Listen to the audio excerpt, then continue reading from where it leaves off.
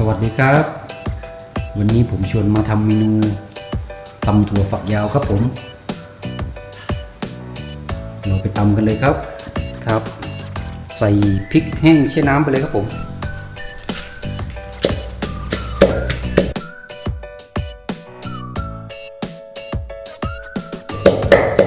ตามด้วยพริกขี้หนูแดงจินดาเลยครับ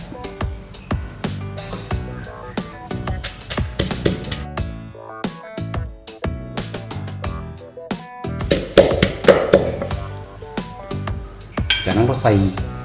กระเทียมบ้านครับผม กระเทียมบ้านหัวเล็กครับกลิ่นฉุนหอมครับผม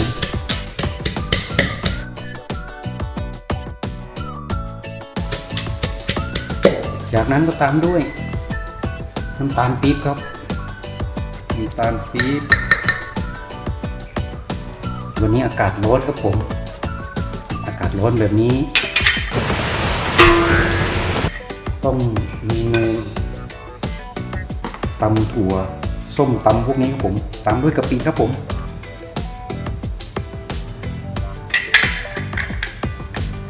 แล้วก็มะขามเปียกครับ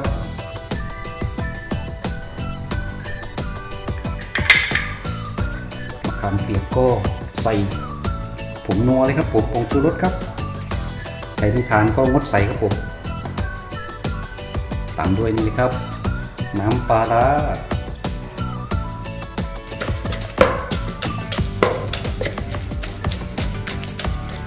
จากนั้นก็ใส่ถั่วฝักยาวเลยครับผม ถั่วฝักยาววันนี้ผมซื้อจากชาวบ้านมาขายในตลาดครับผมแกบอกว่าแกปลูกไว้กินครับผม แต่ว่ากินไม่ทันนะ ส่วนที่เหลือก็เลยเก็บมาขายครับ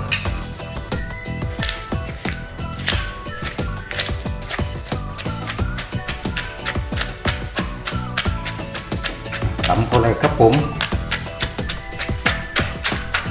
ตำโคแรกแล้ว ใส่มะนาวครับผม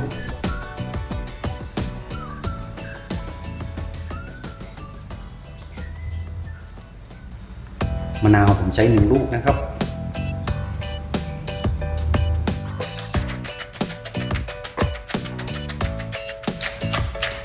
นั้นก็ตามด้วยมะเขือเทศแล้วก็มะเขือเปราะครับ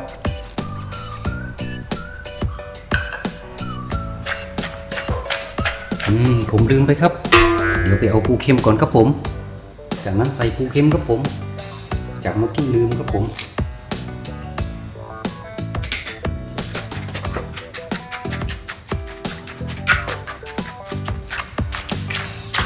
ตำถั่วของเราก็เสร็จแล้วครับผม ได้เวลาชิมครับ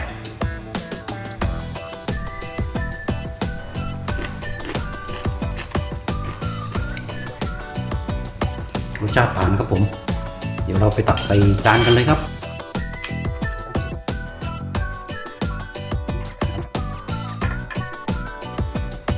ครับตำถั่วฝักยาวของเราก็เสร็จเรียบร้อยแล้วครับผม กินกับผัก เครื่องเคียงครับผม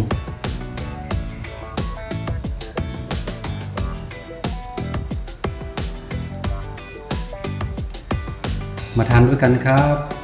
ตำถั่วฝักยาว ว้าวว้าวว้าว